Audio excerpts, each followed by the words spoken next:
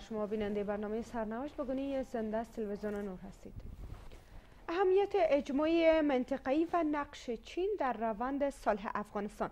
زلمه خلیلزاد فرستادی ویژه ایالات متحده برای صلح افغانستان. پس از پایان هفتمین دور گفتگوهایش در قطر به چین سفر کرده است. سفر آقای خلیلزاد به چین در حال صورت گرفته که پیش از این چند نشست سه جانبه میان آمریکا، روسیه و چین پیرامون صلح افغانستان برگزار شده است. همزمان با این چند قبل یک هیئت طالبان به چین سفر کرده است. نقش چین به عنوان یک قدرت جهانی و منطقه‌ای در روند صلح افغانستان چیست؟ روی همین موارد بیشتر بحث می داشته باشم با حضور مهمانانم آقای مصطفی مرتضوی استاد دانشگاه و آقای رامش نوری تحلیلگر مسائل سیاسی در این بحث خیلی خوش آمدین بابا. سپاس از تشریف آوری شما. آقای نوری هفتمین دور گفتگوهای سال چگونه بود از دیدگاه شما؟ و آیا پیشرفت های قابل لمس در این دور گفتگوها صورت گرفته است؟ به نام خداوند با عرض سلام به شما میهمان گرامیتان در بس. همکاران نهایت گرامی تکنیکتان و بیننده های نهایت تلویزیونتان. من باور دارم که کشورهای جان سوم سیاست های چی درونیشان و چی سیاست خارجیشان بیشتر متغیر وابسته از قدرت های بزرگ است. تغییری که یا جهتگیری که در سیاست خارجی کشورهای قدرتمند جهان کشورهای قدرتمند منطقه صورت می‌گیرد طبیعتا در قضیه افغانستان هم تاثیر گذار است و پدیده صلح جزی نیست. می‌خوایم میره بگوییم که صلح کشورهای توسعه یافته درگیر جنگ فقیر و عقب مانده صلح خودشان نیست و جنگ هم یک در این کشورها یک پدیده ذاتی نیست که ذاتا وجود داشته باشه بلکه یک پدیده ایجاد شدنی هست و ذریعه همین قدرت های بزرگ ایجاد می شود می‌تواند به زودترین فرصت به پایان جنگ برسد ولی ناظر به منافع ملی قدرت های بزرگ و کشورهای منطقه هست. دور هفتم من فکر می‌کنم بیشتر مانور طالبان برای اینکه با نماینده های از اوضاع افغانستان صحبت کنند بیشتر فراهم بود و تاکید طالبان هم روی مثلا نگاه فقی سالت الحضری بر تمامی امورای بعد از صلح بود بله. و همچنان بیشتر تاکید بر خلافت اسلامی داشتند و مقیدسازی زنان در چارچوب گویا قوانین اسلام یا چارچوب همون نگاه فقهی اصالت الحضری که میگه همه چیز حرام است همه چیز ناجایز است همه چیز نارواست مگر این که بر حلال بودن آن آیت از جانب خداوند در قرآن و یا روایت از جانب پیامبر در احادیث وجود داشته باشد. و فضای گفتمانی آقای نوری از دیدگاه آمریکایی ها زلمه خلیلزاد گفت که هفتمین دور گفتگوهایش پربارترین دور گفتگوها بوده. از چه دیدگاه و بنابر کدام شاخص ها و فاکتورها این هفتمین دور گفتگوها پربارترین دور بوده؟ شما در قضیه صلح حداقل هفت بازیگر اساسی دارین که این بازیگرها حداقل بیشترینشان توافق کنند. شما یک پایان جنگ یا صلح نسبی را می‌تونین در کشور داشته باشین بله. بازیگر اولی مثلا مردم و گروه های جهادی است که در اینجا به نحو کمکان حداقل اگر خودشان نبودن به عنوان نگاه ارباب سالاری فرزندان خود فرستاده بودند بله. هدف شما از هفت بازیگر در درون افغانستان است و یا در منطقه و جهان همه در منطقه و جهان اولین بازیگر مردم و گروه های جهادی است بله. دومین بازیگر در پدیده صلح حکومت افغانستان است. بله. سومین بازیگر در مسئله صلح طالبان هست. چهارمین بازیگر رو پاکستان است. پنجمین بازیگر روسیه است. ششمین بازیگر آمریکا هست. هفتمین بازیگر سایر کشورها هست که می‌تونیم مثلا چین مثلا می‌تونیم کشورهای اروپایی و یا کشورهای اسلامی مثل قطر و دیگرها را در این هیته قرار بدیم. اگر قرار شود این بازیگران در قضیه صلح افغانستان تفاهم کلی نداشته باشند بله. منطق عملی شدن صلح در افغانستان البته وقتی ما صلح میگیم به معنای پایان جنگ هست به معنای اینه که تمامی مسائل از حوزه افغانستان بیرون شود و خیر خیریت صورت بگیره یعنی حداقل با گروه طالبا پایان جنگ صورت می‌گیره و اینا را سهم میتن به قدرت سیاسی و در عین حال در این مورد اضافه می‌کنم که سفر آقای خلیلزا وقتی صورت می‌گیره مثلا به قطر مثلا نشست آغاز می‌کنه. این نشست ها بیشتر نشست های ظاهر قضیه هست. ولی قضیه اصلی اونمو بازدیدهای پنهانی آمریکا با طالبا هست و چانزنی بر روی قدرت سیاسی هست. بله. ولی ما واقعا چه آقای نوری پشت پرده جریان داره که این هفت دور نشسته اگر به باور شما ظاهر قضیه باشه پس اصل قضیه چه است؟ محور اصلی اصلی جنگ در افغانستان همان گونه که ما پیشتر گفتم که جنگ یک پدیده ایجاد شدنی هست و بر اساس منافع قدرت های بزرگ ایجاد می شود محور اصلی جنگ افغانستان توزیع قدرت در سطح نظام بین الملل هست. طالب به عنوان یک گروه واحد دیگه او, او, او تمویل کننده مستقیمش دیگه امریکایی که ساختش نیست بلکه گروه های متفاوتی است که چانزنی بر قدرت سیاسی یا بر حوزه ژئوپلیتیک جهان دارند. روسیه خواهان مثلا اقتدار در اوکراین و کریمیه و سوریه و جاهای دیگه هست و به همین گونه چینی که بر قدرت اقتصادی است و مانعش می شود مثلا پایگاه های آمریکا در درون خاک افغانستان. ایران که به سوی اتمی شدن روان هست مانع اساسیش در صورت بروز جنگ افغانستان است. پایگاه های نظامی ایالات متحده امریکا در اینجا هست. بنابراین ما جنگ در افغانستان از نگاه سیاسی توزیع قدرت در سطح نظام بین الملل می‌دانیم که گروه های متفاوت متمایل به جنگ در افغانستان است و زمان این جنگ پیدا پایان پیدا می‌کند که اینا به یک تفاهم در سطح نظام بین الملل برسند و در قضیه افغانستان جنگ پایان پیدا می‌کند یک مورد. مورد دوم از این نگاه هست که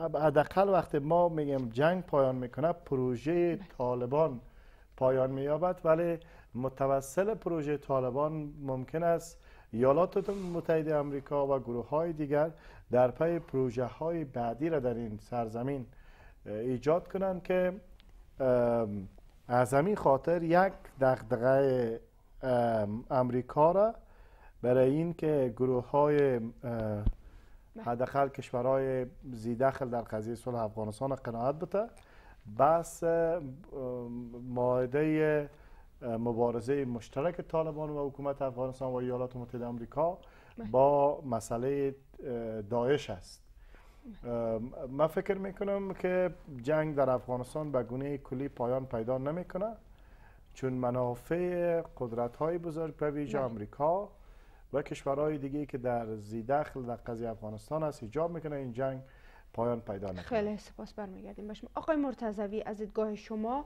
آیا هفتمین دور گفتگوهای نمایندگان آمریکا با طالبان پربارترین دور گفتگوها بوده؟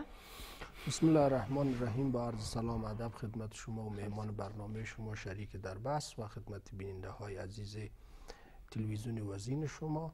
بله شش دور گذشت دور هفتم که در قطر انجام پذیرفت. یک دور بسیار اساس بود.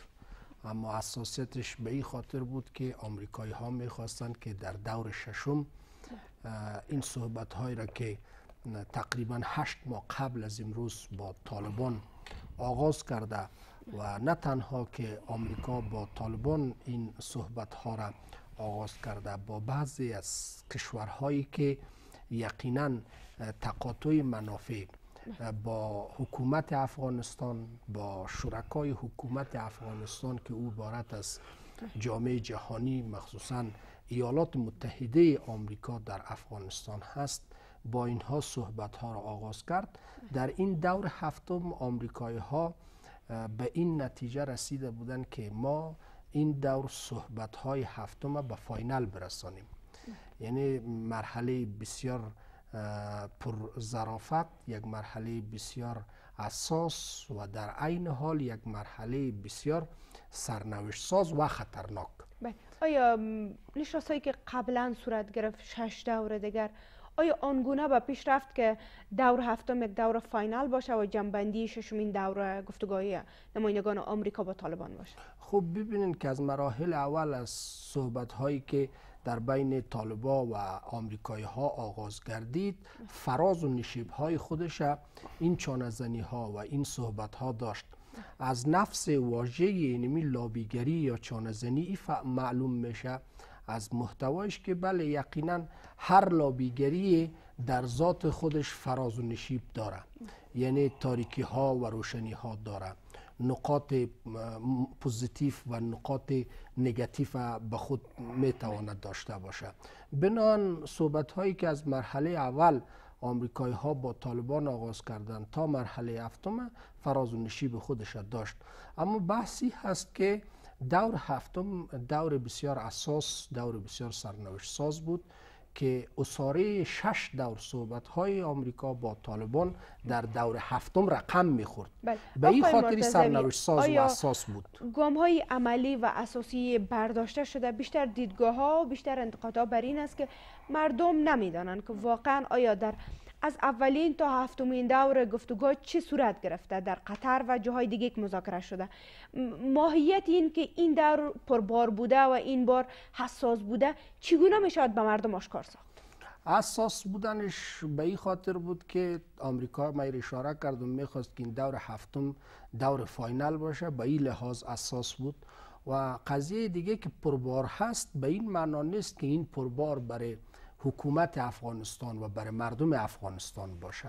مشخص است از نام این مذاکره و این دیالوگ و صحبت هایی را که آمریکا با طالبان و با بعضی از کشورهایی که اونا شرکای اساسی در قضایای جنگ افغانستان بوده و به یک شکل از اشکال جنگ بالای مردم افغانستان در این 18 سال اونا تحمیل کردن از نام این صحبت ها و دیالوگ ها معلوم است که هم حکومت افغانستان و هم مردم افغانستان در تمام دورهای مذاکراتی که طالبا با ایالات متحده آمریکا داشتن و حتی بعضی از کشورهایی که اینا می‌خواستن من حیث میزبان در قضای صلح افغانستان با طالبان نشست هایی داشته باشند هم حکومت افغانستان و هم در فرجام مردم افغانستان به حاشیه بودند به یک تعبیر دیگر که این صحبت ها در پشت درهای بسته صورت گرفته است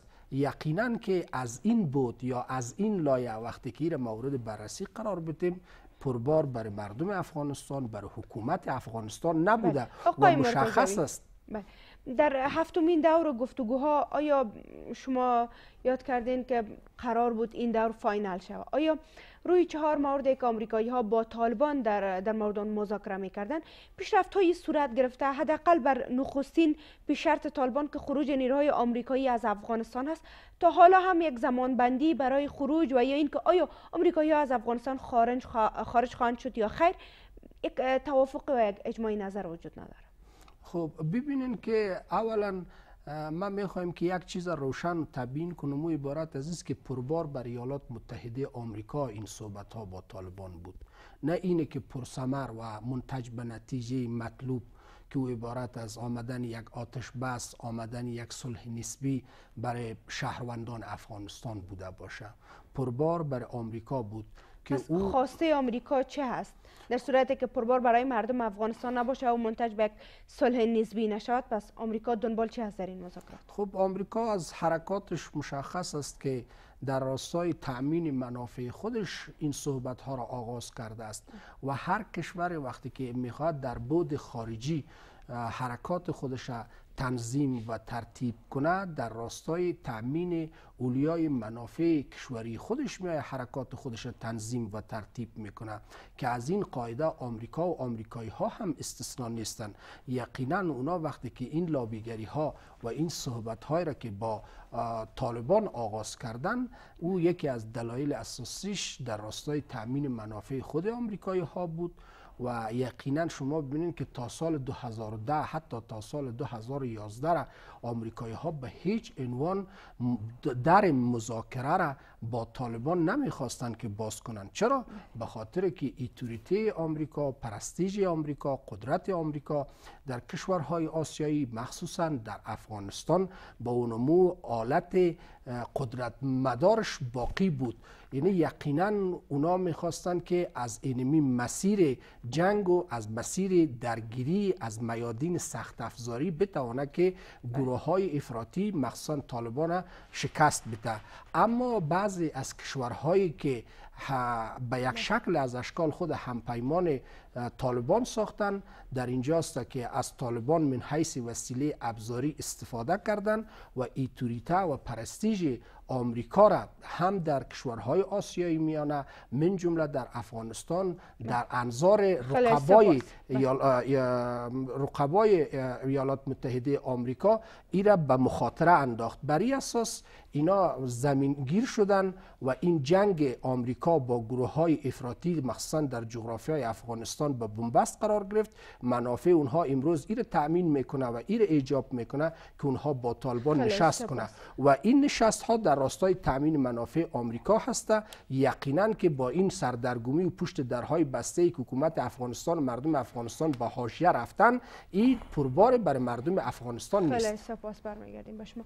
آقای نوری آقای مرتضوی گفتند که تا سال 2010 آمریکایی ها به خاطر پرستیژ و اقتدار خود در سطح نظام بین الملل حاضر به مذاکره و گفتگو با طالبان نبودند.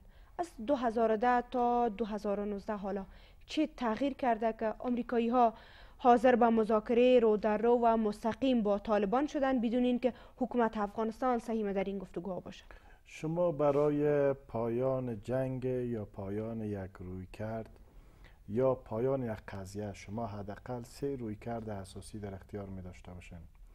روی کرد اولی روی کرد زرمدارانه است. قضیه اصلی همی است که آمریکایی‌ها در جنگ با طالبان تضیف شدند.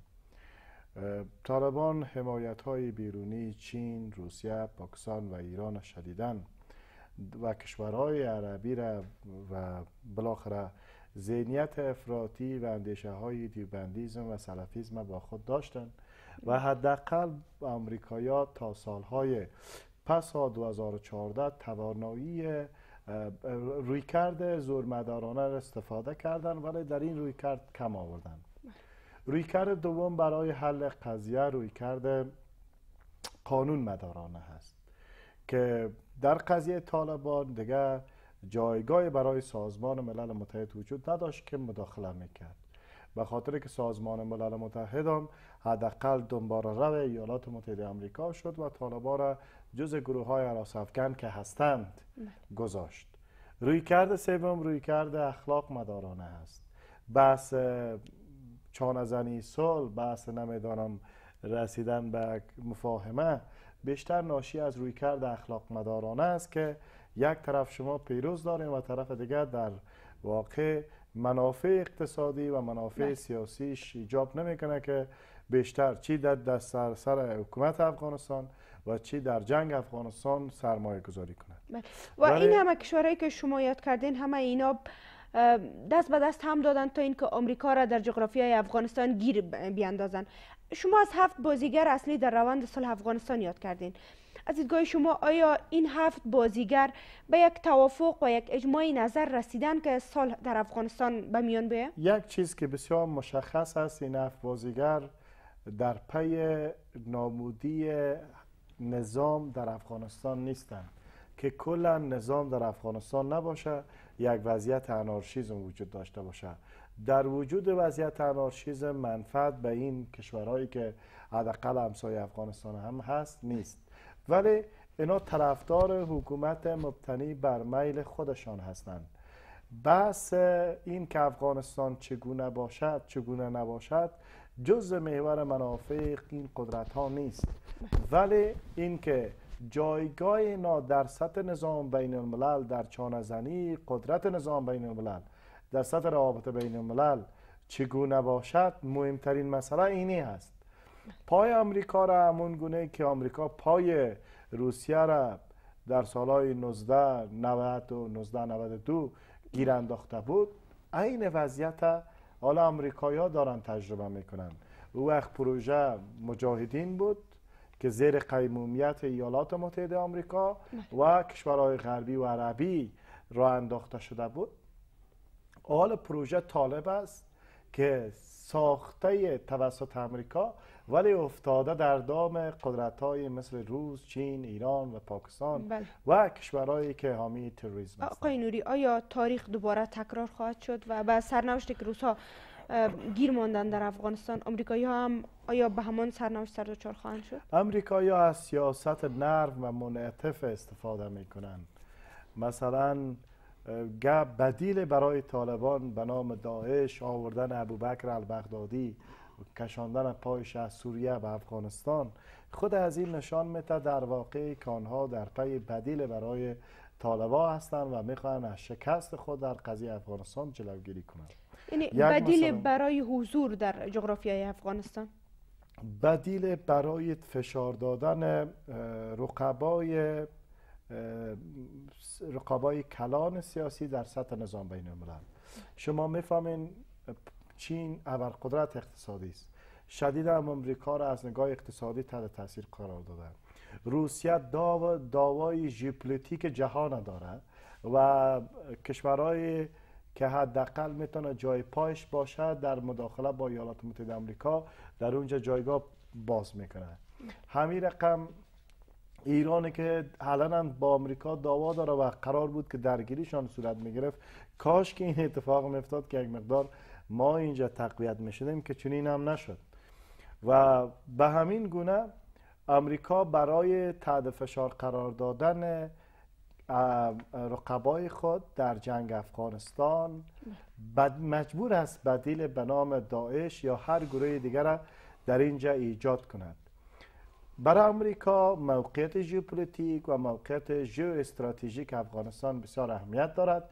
همونطور که به دیگر کشورها به عنوان یک ابزار قوی می‌تونه محاسبه شود. این یک مورد. مورد دومی است که من باز تکرار می‌کنم که با تاسف تاریخ تکرار می شود به قول سید جمال الدین افغانی که می گفت ما آگاهی را مقدم تر از آزادی می دانم ملت های آگاه هیچگاه در یوغ استعمار و استثمار نمی روند ولی متاسفانه ما ملت داریم که همیشه آزادی را بر آگاهی ترجیح دادیم و در نهایت همینطور شده. ما در سالهای پسا 1992 ش- روس شکست میتیم به عنوان ابرقدرت؟ گویا حکومت جهادی یا مستقل می سازیم ولی توانایی تداوم این کار را نداریم. دوباره در یوغ بله. کشورهای استعمارگر و استثمارگر میفتیم. این حرف این معنا هست که ما هنوز هم آگاه نیستیم. یک مورد وقتی ملت آگاه نبود به عنوان چوب سوخت بهانه‌های مختلف. تا دیروز ما چوب سوخت مبارزه با ایدولوژی مارکسیسم بودیم. ولی امروز ما چوب سوخت حراس افکنی افراطیت دا داعش و نمیفهم. طالب است که بیشتر. ناشی از اون ذهنیت های افراطی و بنیادگرایی از قرائت های سختگیرانه اسلامی می شود در نهایت جنگ ما جنگ ما نیست صلح ما هم صلح ما نیست. بیشتر این کشورهایی که در سطح جهان قدرتمند هستند برای ما جدگیری و جدگیری می‌کنن که ما چگونه باشیم. خیلی سپاسگزار هستم. آقای مرتضوی نقش چین به عنوان یک قدرت منطقه‌ای و یک قدرت بزرگ اقتصادی در جهان. در روند صلح افغانستان چه است؟ آیا نقش سازنده می‌تونه چین در روند صلح افغانستان داشته باشد یقینا قضایای جنگ افغانستان شاید ده درصدش بود داخلی داشته باشد. بر اساس عدم مدیریتی که از آدرس سیاستمداران حکومت افغانستان که همیش در این فصل جدید روی صحنه و روی کار آمدن که اینا با مدیریتی با ضعف های بسیار زیادی که در بین خود اینها وجود داشته است و در قضایای جنگ و در قضایای خطوط اساسی دشمنان افغانستان اینا خطوط اساسی نداشتن تعریف واضح از جنگ افغانستان تعریف واضح از دشمنان مردم افغانستان کسانی که در ارم قدرت بودن نداشتن. ده درصد جنگ هایی که در افغانستان در این 18 سال از نقطه ده درصدی آغاز گردیده است تا نقطه 80 90 درصدی که امروز چالش های بسیار زیاد امنیتی در سرتاسر سر افغانستان در 34 ولایت افغانستان بله. وجود داره ده درصدش برمیگرده به بعد داخلی که اشاره کردیم. اما 90 درصد از این بود خارجی داره. این جنگ هایی که در 18 سال در افغانستان تعمیل شده این بودش 90 درصد برمیگرده به بود خارجی. کشورهایی که در افغانستان به یک شکل از اشکال تا به حال را مخصوصا در این فصل 18 سال ببینین که منافع خودشانه در شولور ساختن و امتداد دادن و کشیدن این خط جنگ دانستن 90 درصد برمیگرده به قضایای کشورهای منطقوی کشورهای فرا منطقوی و حتی کشورهای جهانی. بله. آقای مرتضوی نقش کشورهای منطقه‌ای در روند صلح افغانستان چه است؟ از آنجایی که آقای خلیلزاد گفته که تا حالا اجماع منطقه‌ای شکل نگرفته پس مذاکره و گفتگو با چینایی ها آیا می‌تونه در امر شکل دی اجماع ملی اجماع منطقه موثر ما میایم به همین سوال شما. ببینید که وقت 90 درصد جنگ ها را اسپانسریش یا نقش اساسیش کشورهای همسایه, همسایه افغانستان و کشورهای پیرامونی داره. یقینا در قضای ختم جنگ و در قضای آوردن صلح و در قضای کشانیدن بعضی از کسانی که در افغانستان مخصوصا گروه طالبان به میز مذاکره اینا هم در قضای صلح هم یعنی کشورهای خارجی که در قضای جنگ نقش اساسی را داشته در بله. قضای صلح هم نقش اساسی را داره.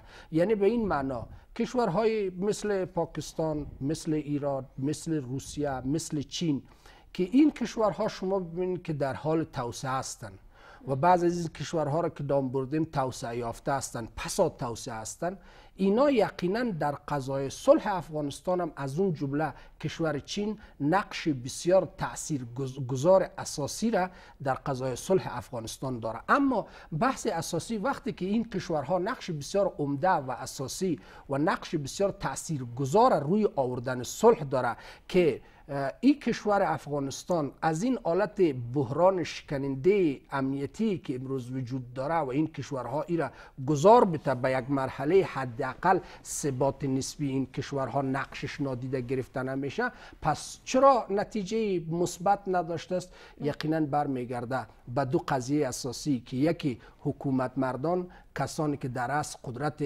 سیاسی افغانستان بودند اینا نتوانستند که رفتار خودشان را با کشورهای خارجی سیاست خارجی خودشان را یک سیاست مدون یک سیاست جامع و یک سیاستی که با یک تعادل و یک توازن بتواند با تمام کشورهای منطقوی و فرامنطقوی و حتی با تمام کشورهای جهانی بله. ارتباط برقرار کنه. متاسفانه پالیسی خارجی حکومت مردان مخصوصا در این حکومت وحدت ملی اینا از این پالیسی خارجی برخوردار نبوده. اینا از او پایینتر حتی در سیاست های داخلیشان حکومت مردان رهبران حکومت ائتلافی افغانستان مشکلات بسیار عمده و شکننده و اساسی داشتند تا به حال در پنج سال اینا در بین سپیدار و ارگ تا به حال مشکلات بسیار اساسی وجود داره که حل نشده. اینا چطور می‌توانند که سیاست های خارجی خودشان را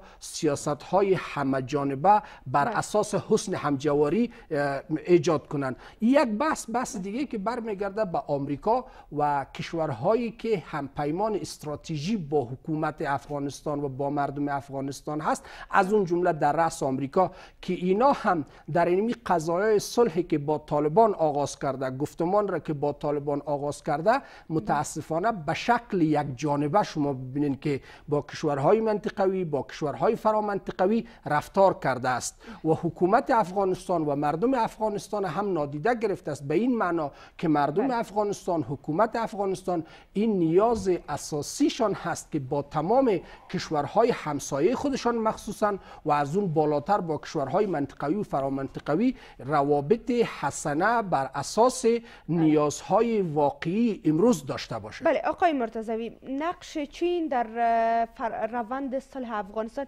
بیشتر از, کجا، از کدام جنبه و شاخص خیلی نقش تعیین کننده داره و نقش مهم را داره که شما با اون اشاره کنم. ببینید که اولا یک بحث اساسی که امروز وجود داره که طالبانی که امروز در افغانستان و در مجموع گروه های افراطی که در افغانستان هستند اینا آبشخورش و در مجموع تامینشان از یک آدرس مثل ده یا پنج سال یا شش سال قبل نمیشه.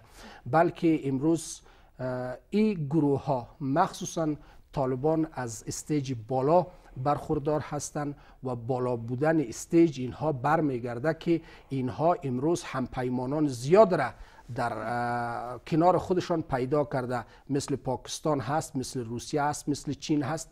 یک بحث هست که از اینمی بعد ببینید نظامی هم روسیه هم پاکستان هم چین هم ایران و هم کشورهای عربی نقش بسیار تعیین کننده و تأثیر گذاره در بالای اوضاع امنیتی افغانستان دارند. یعنی اگر اینا واقعا بتوانند که آمریکایی ها مشکل اساسی خودشان از حضور خودشان در منطقه مخصوصا در افغانستان حل کنه و تضاد و تقاطع منافع از حضور ایالات متحده آمریکا و قوت‌های بله. ناتو در افغانستان بر این کشورها نباشه. در اینجاست که اینا تاثیرگذاری اساسی داره و در کنار از که از دید امنیتی اینا یک نقش بسیار اساسی را روی آوردن صلح در افغانستان روی ثبات سیاسی در افغانستان دارن از دید اقتصادی یا اکانومیک هم ببینید که چین یک کشور ظهور کرده و بروز کرده است از ناحیه اقتصادی هم می‌تونه که نقش بسیار اساسی را در قضای آوردن صلح در افغانستان بازی کنه. ممنون.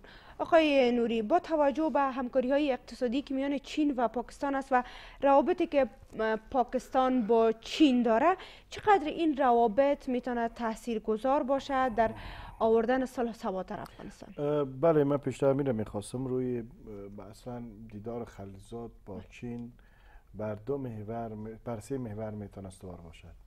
یک این دیدار طبیعی است که بر حل نگرانی های چین در قضیه تضاد منافع ایالات متحده آمریکا و چینی ها در افغانستان.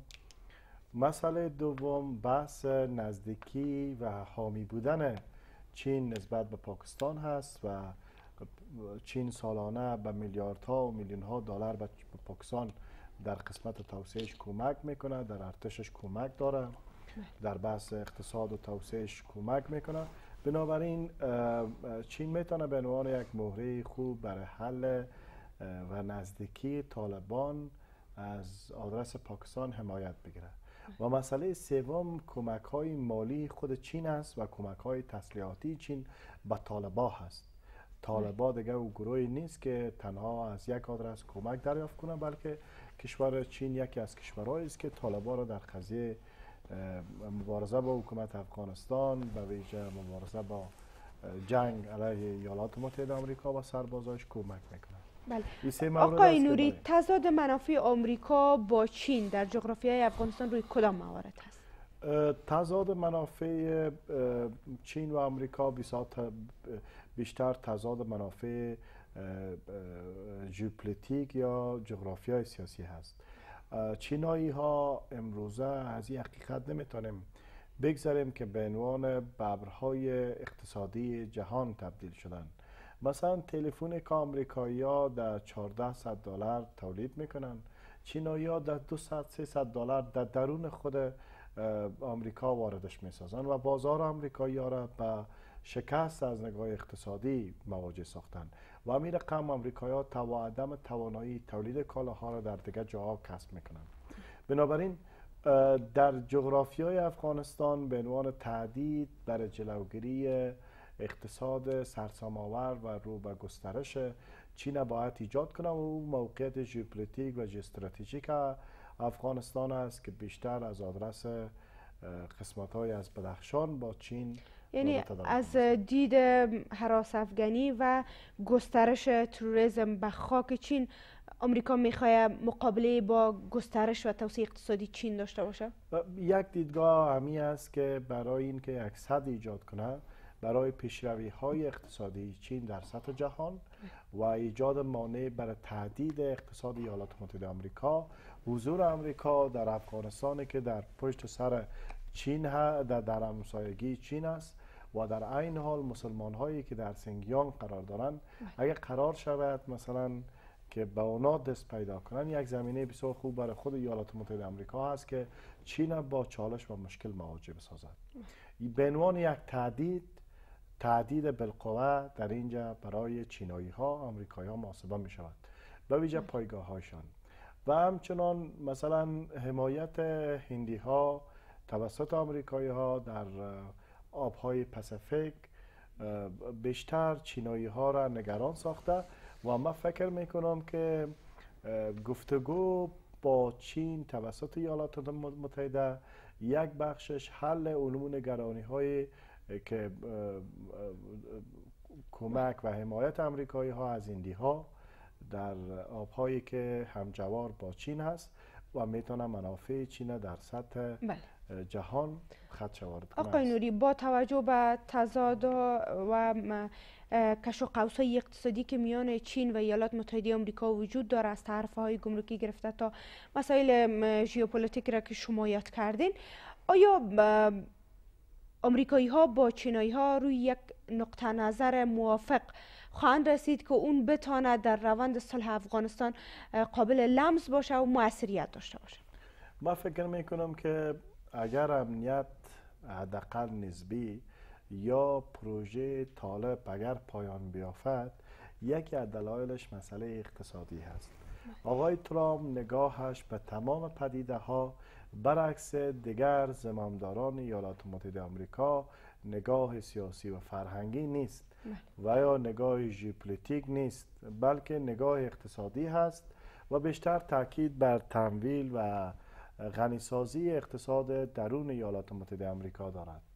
به همین مبنا من فکر می‌کنم بعید نیست که ایالات متحده آمریکا بر یک نقطه نظر اقتصادی در قضیه بدبستان سیاسی که در افغانستان وجود دارد برسد خیلی سپاس.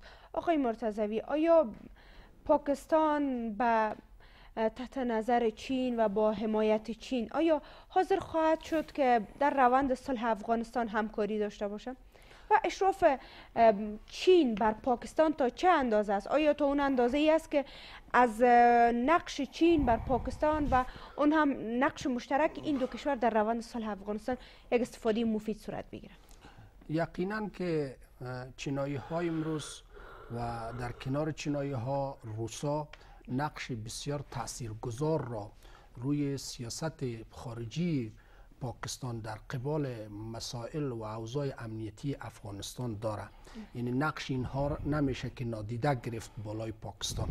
یک نقش بسیار اساسی و یک نقش بسیار تاثیرگذاره هم چینایی ها داره و هم روس ها داره اما یک چیزی که وجود داره که متاسفانه پاکستان از یک موقعیت بسیار بالای امروز برخورداره یا یک بازیگر بسیار اکتیو و یک بازیگر چندگانه هست به این معناست که شما ببینین اگر یک وقتی از آدرس آمریکا و آمریکایی ها تحت فشار قرار می‌گیره در اینجا است که شما ببینین ای یک رای بدیل برای خودش داره یک الترناتیو داره که او عبارت از روسا و چینایی ها باشه.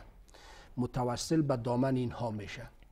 و فشارهای همه جانبه آمریکایی ها را از این دو آدرس روس ها و چین ها می‌تواند که کم کنه و کاهش بده بله. یک زمان هم هست که شما ببینید که برفرض برفرض اگر این یک پارادایم است که اگر بله. روس ها یا چینایی ها بیای فشارهایی را تا حد لازم بالای پاکستانی ها در سیاست های دوگانه و سهگانه پاکستانی ها مخصوصا در راستای توریسم پروری فشار وارد کنه در اینجا هست که باز هم پاکستانی ها یک بدیل داره که عبارت از آمریکا هست متاسفانه.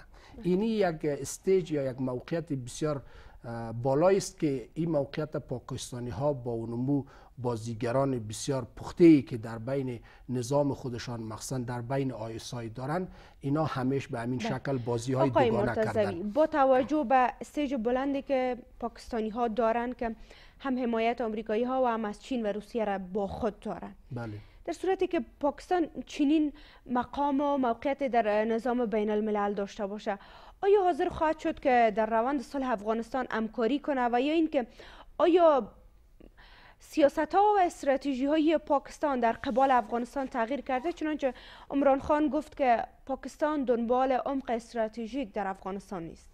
خب ببینید که همیش گفتارهای اینها با عمل کرده مقامات سیاسی مخصوصا با جنرال های آیسای پاکستان که حرف اساسی را در قضای سیاست های داخلی خودشان و سیاست های خارجی خودشان می‌زنن یقینا که فرق می‌کنه. این یک چیز مشخص است. در این 18 سال ببینید که همیش گفتارشان متفاوت با عمل کرد بوده و بله. بلکه تفاوتش هم صد درصدی بوده.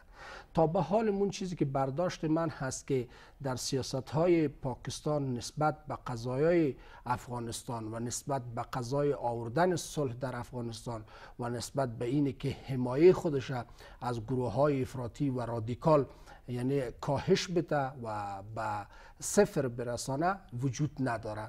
یقینا که بعضی از حرفایی هم که می‌زنه رسانه‌ای هم می‌سازه و بعضی از حرفایی میگه مثلا نشست چند روز قبل که در پاکستان صورت گرفت در لاهور که یک از اپوزیسیون حکومت وحدت ملی در اون نشست شرکت کردن امران خان در اونجا به صراحت بیان کرد که ما دنبال عمق استراتژیک پاکستان در افغانستان نیستیم. این حرف ها حرف های عوام فریبانه است. این یک بس و بحث اساسی است که امروز پاکستانی ها مخصوصا در همین دو دوی نیم سال از اون زمانی که مخصوصا دونالد ترامپ آمده است یک سیاست اساسی در قبال پاکستان ایجاد کرده است که اون فقط در مرحله شعار هسته. ببینین که پاکستان تا یک حد زیاد را تحت فشار جامعه جهانی قرار گرفته. برای اساس امروز زد هایی که داره حرف هایی که رسانه‌ای می‌کنه و می‌خواهد که به یک شکل از اشکال یعنی فشارهای جامعه جهانی و دیدگاه های متناقضی که در بالای پاکستانی ها امروز وارد هست اینا را کاهش و تقلیل بده و یعنی اضافه تر از اینا کدام چیز دیگه ندارن. همکاری نخواهد شد یقینا تا, تا منجر به سال شود و لانه هایی که در خاک پاکستان از تروریستان و حراس افغانان وجود داره اون لانه ها از بین برده شد. یقینا تا زمان را که پاکستانی ها آمدن صلح در افغانستان یعنی در راستای تامین منافع خودشان نبینن یقینا که دیدگاه اونها و پالیسی اونها در قبال مسائل امنیتی افغانستان تغییر نمی‌کنه و تا به حال هم به برداشت و دید ما هست که پاکستان هیچ نوع انعطاف پذیری واقعانه را در قضایای صلح افغانستان از خود نشان نداده. ما اشاره کردم که بعض حرفا و حرکات را که انجام میتن نمایشی است به خاطر کاهش دادن فشارهای جامعه جهانی مخصوصا ایالات متحده آمریکا. ممنون شما. آقای نوری با توجه به گفتهای آقای مرتضوی مبنی بر این که پاکستانی ها حالا با مون سیاست که دارن هم حمایت آمریکا را با خود دارن و هم حمایت چین و روسیه را. نشست های سه جانبه که چند بار میان روسیه چین و آمریکا برگزار شد چقدر می‌تواند در نزدیک کردن دیدگاه های این سه قدرتی که گفته میشه در روند صلح افغانستان نقش مهم و اساسی دارن در اجماع نظر میان این کشورها داشته باشن من فکر می‌کنم که در سیاست به همان گونه که دوست دائمی و دشمن دائمی وجود ندارد همه چیز بر میبر منافع کسب قدرت حفظ قدرت گسترش و نمایش قدرت میچرخد و مبتنی بر ناظر به منافع ملی هست. یا به قول آقای مورگنتا که میگه منافع ملی ستاره رهنمای سیاست خارجی کشورها هست. هر کشور به دنبال منافع ملیش هست یا پاکستانی ها هم خوب بازی کردن. مبتنی بر منافع ملیشان هم با ایالات متحده آمریکا چانه کردن و درگیری درگیرشان درگیری های لفظی داشتن و دیپلماتیک و هم با روسیه تا دیروز دشمن بودن ولی امروز منافعشون ایجاد می‌کنن با روسیه دوست هستن و همین منافع هست که دشمن ها را با هم گره می‌زنه و تبدیلشان می‌کنه به دوستا. یک مورد. مورد دیگه این هست که ما می‌خوایم این را بگوییم که تابکه مردم ما قربانی جنگ های تعمیلی از سوی استخبارات کشورهای قدرتمند باشند. باید این روی کرد پایان پیدا کند. ولی برای پایان پیدا کردن این روی کرد ما باید عجله و خوشبین نسبت به صلح که حداقل طالب به قدرت بیاره و او طرف داعش سر قدرت بشاند نداشته باشیم. ما باور دارم با حراس افغانی و پایان جنگ ما باید دو روی کرده مبارزاتی داشته باشیم. روی کرده اول روی کرده فرهنگی باید باشه که ممکن است 20 سال دوام کنه تا 25 سال دوام کنه.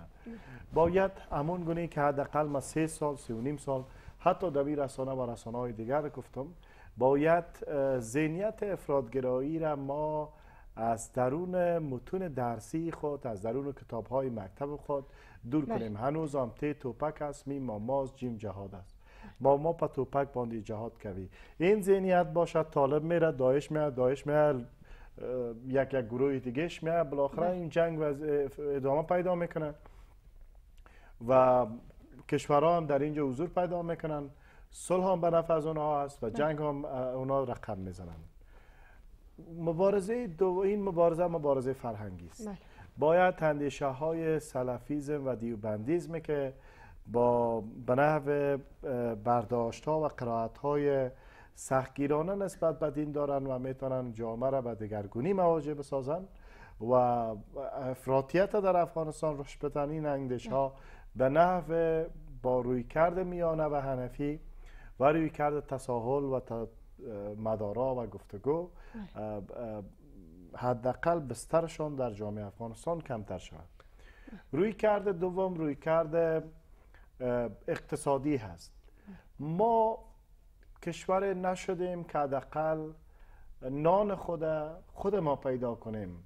بیشتر در 50 سال گذشته کشورهای دیگر معمولا اگر زمان داود خان است داود خان میاد تر پلان توسعه اقتصادی خود اول با ایالات متحده آمریکا پیشکش می‌کنه که برایش مورد پذیرش نمی باشه دو می‌بره به ایالا به, به اتحاد جماهیر شوروی و اتحاد جماهیر شوروی هم در طرحهای از او دروازه های افغانستان بر روی روس ها باز میشه و روس هم به تم که با آبهای گرم برسن وارد مداخله در قضیه افغانستان میشن تا اینکه نظام سیاسی را حداقل افراد وابسته به روس و در نهایت تجاوز مستقیم روس در این خاک داریم متاسفانه ما نتانستیم در سالیان متمادی حتی در 18 سال یا 19 سال حضور جامعه جهانی در افغانستان به دلیل داشتن زمامداران ناخیراندیش ما اقتصاد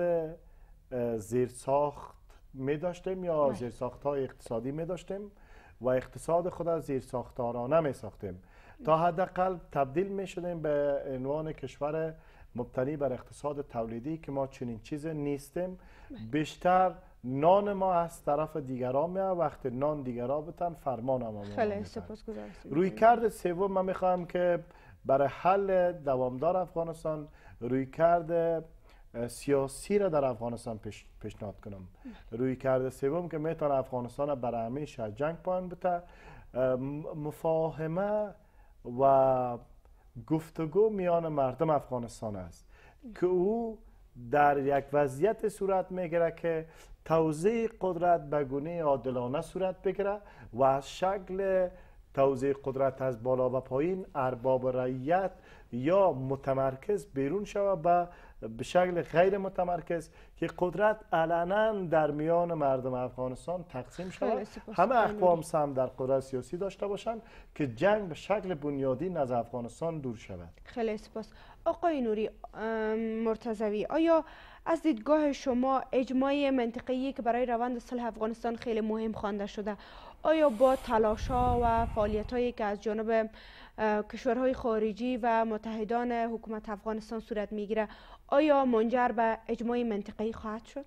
ببینید که متاسفانه هم ما اجماع داخلی یا اجماع ملی را تا بهش نرسیدیم که یک بحث بسیار اساسی و مهم و سرنوشت ساز در این مقطع زمانی برای مردم افغانستان هست که از این می‌تونیم که یک حربه فشار داشته باشیم تا بتانیم به اجماع منطقوی و حتی اجماع فرامنطقوی یا جهانی برسیم. اجماع منطقوی یک بحث بسیار اساس است که امروز با توجه داشتن به تنش هایی که در نوع خودش بی سابقه هست.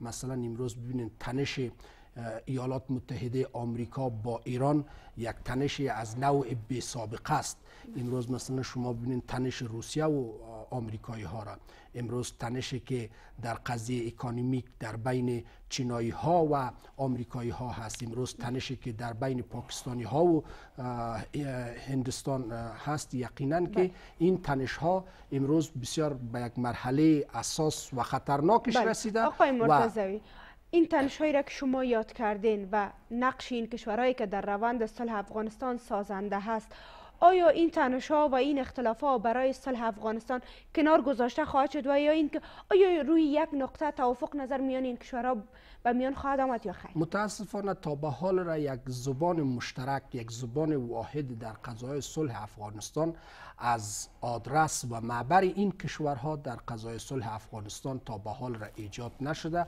و تا به حال را هم مشکلات زیاد وجود داره که در این راستا شما ببینید که آمریکایی ها هم تلاش های ضد و نقیز خودش انجام میده اما تال نتانسته است که یک نقطه مشترک را با همکاری حکومت افغانستان بتوانه بر کشورهای منطقوی و کشورهایی که امروز تنشزا هستند ایجاد کنه که اون نقطه مشترک بتوانه که یک اجماع منطقوی را در قضای گفتمانی که امروز آغاز گردیده است در قضای صلح افغانستان ایجاد کنه بله آقای مرتضوی آمریکا چگونه می‌تونه به یک اجماع منطقه‌ای در روند صلح افغانستان دست پیدا کنه اولا که با با, با نوع دیدی که آمریکایی ها دارن مشکل است که اونا بتونه یک اجماع منطقوی را ایجاد کنه زمان می‌تونه که اجماع منطقوی را ایجاد کنه که از رفتارهای دوگانه پرنوی دستان سهگانه و چهارگانه و پنجگانه خود در قبال کشورهایی که تقاطع و تضاد منافع با آمریکا در جغرافیای افغانستان داره از این دوری کنن.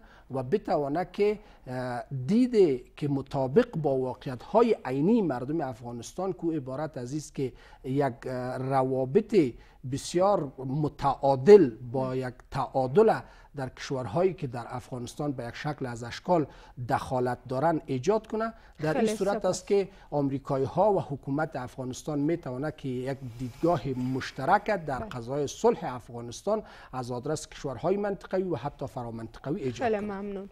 آقای نوری در ختم در صورتی که اجماعی منطقه‌ای اگر شکل نگیره در روند صلح افغانستان کار صلح به کجا خواهد رسید؟ من فکر می‌کنم اگر در این بازیگری که من گفتم یک بازیگرش هم قناعت نکنه و تفاهم نداشته باشه صلح به پایان جنگ و ختم پروژه طالب ممکن نیست. خیلی سپاس از حضورتان. در این بحث آقای مصطفی مرتضوی استاد دانشگاه و آقای رامش نوری تحلیلگر مسائل سیاسی در این بحث. و سپاسگزار بیننده های عزیز که ما را تا این دم بیننده بودید. وقتتان بخیر. خدا نگهدار.